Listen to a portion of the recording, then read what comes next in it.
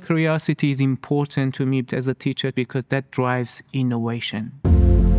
Cybersecurity is very important because everyone has got a digital device in their pocket. The moment you open it up, you are using cybersecurity mechanisms from unlocking your phone to browsing internet. I'm passionate about cybersecurity because it's related to my research area. I am a mathematician. Anything related to mathematics is very exciting for me. I care about my own students because I see them as my kids.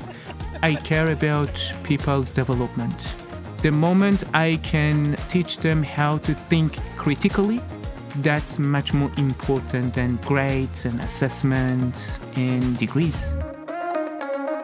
Connection is very important because diversity brings innovation.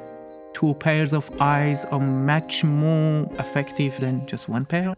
I love being part of the Monash community because it's a multicultural university, it's very inclusive. It has created a big opportunity for me to explore. Curiosity is important to me as a teacher because that drives innovation.